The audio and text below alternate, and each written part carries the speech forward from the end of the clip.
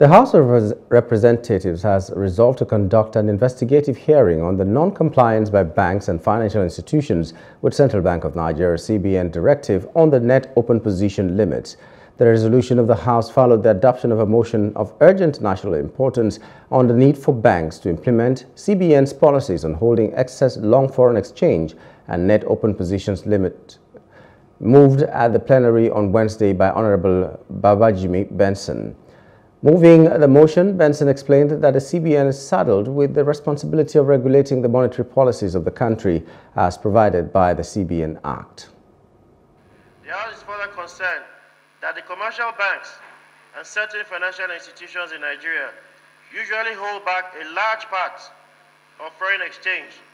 that they obtain either through purchase, borrowing, or allocation from the CBN,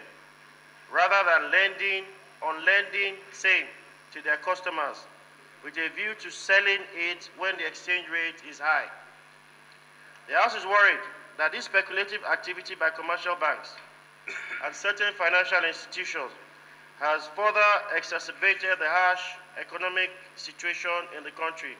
and has led to difficulty by legitimate businesses to obtain foreign exchange for their business transactions. In another development, the House of Representatives has mandated the Committees on Education, Examination Board and Basic Education to interact with the National Examination Council NECO on her planned 2024 promotion examination for about 1,500 staff. This followed the adoption of a motion on matter of urgent public importance moved by Honorable Akim Adeyemi. While moving the motion, Honorable Adeyemi says the House is aware that, that in the past, the examination body has conducted similar promotion examinations for her staff at various zonal or regional offices without necessarily making them converge in large numbers and in one place for the promotion exercise. We are concerned that due to the security situation in the country and the economic issue biting out of the citizen, including the staff of National Examination Council, NECO, it is perilous to cost about 8,500 staff to travel from different parts of the country to one place in the name of promotional examination, Mr. Speaker. Believe that the examination body which conducts examination for candidates all over the country has the capacity to conduct promotion examination for our staff at different states of the federation. He has due resolve that we mandate the committees on education, examination board and basic education to interact with the National Examination Council, NECO, on our plan 2024 promotion examination for about 8,500 staff at place vis-a-vis the security and economic situation of the country. Also at plenary, the House adopted the motion by Honorable Dominic Okafor summoning the FCT Minister Nyesom Wike, the National Security Advisor Nuhu Ribadu, and heads of all security agencies over rising insecurity in the federal capital.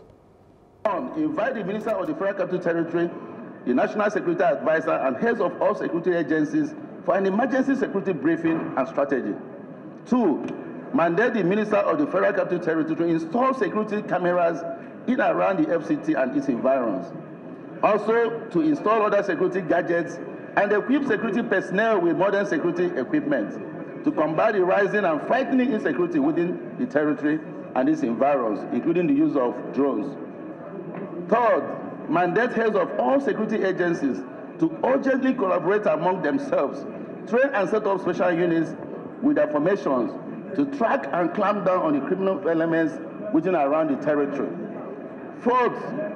mandate the security agency to immediately commence the use of the registered national education number NIN in their technology to trace and curb insecurity across the Hello, hope you enjoyed the news. Please do subscribe to our YouTube channel and don't forget to hit the notification button so you get notified about fresh news updates.